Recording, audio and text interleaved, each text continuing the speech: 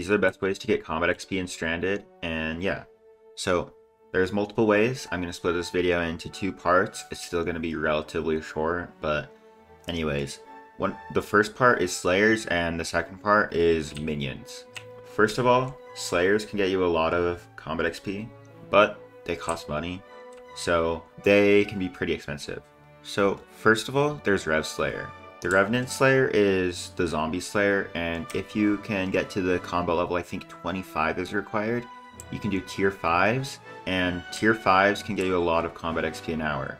A lot of it is the mini bosses, because with mini bosses, they can drop like 2000 XP per mini boss, and you can spawn a lot of them really quickly, and the boss itself gets about 4000 XP.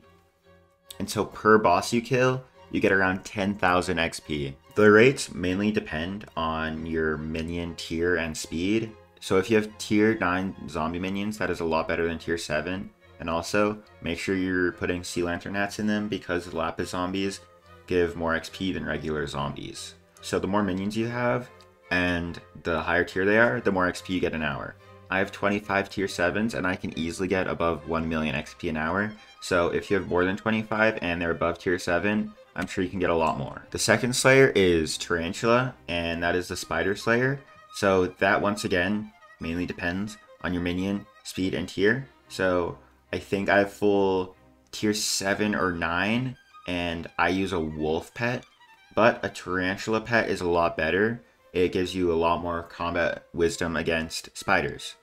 So with that, it's basically the same concept as Revs, but you can put minion expanders in them to make it faster, and you can also put flycatchers if you have those, but I doubt anybody has those. With my setup, I can easily get like over 500 or 600,000 XP an hour.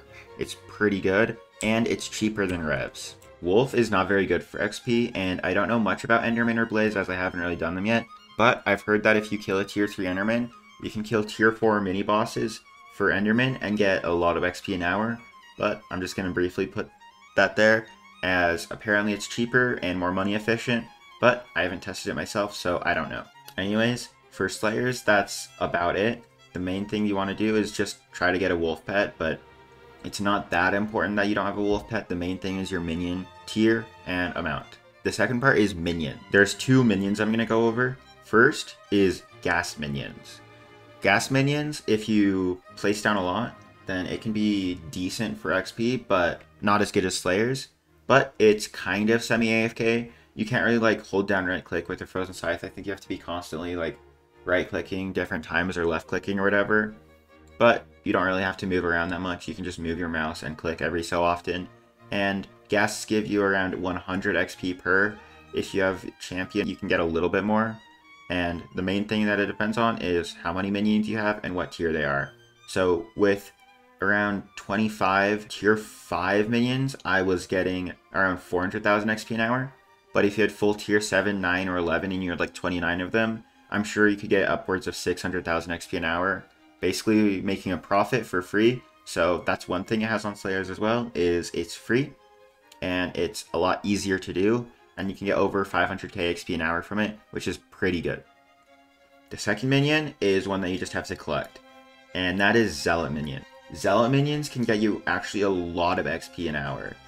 I don't remember the specific amounts, but I think with 28 tier 11s, it was around like 500k XP a day with Catalyst, Hyper Catalyst, so, I'm sure if you have less minions or less tiers and you only use foul flesh or you just use plasma buckets, you can still get easily over 100,000 combat XP a day, and that basically means you don't even have to play the game to get a lot of combat XP, although I'm sure the rates are a bit worse because special zealot loot is not a thing right now as it's broken or the admins disabled it or something like that, but that's how you get it without even playing the game, and it's pretty good. Anyways, let me know if I missed any in the comments and I'll just let you guys know.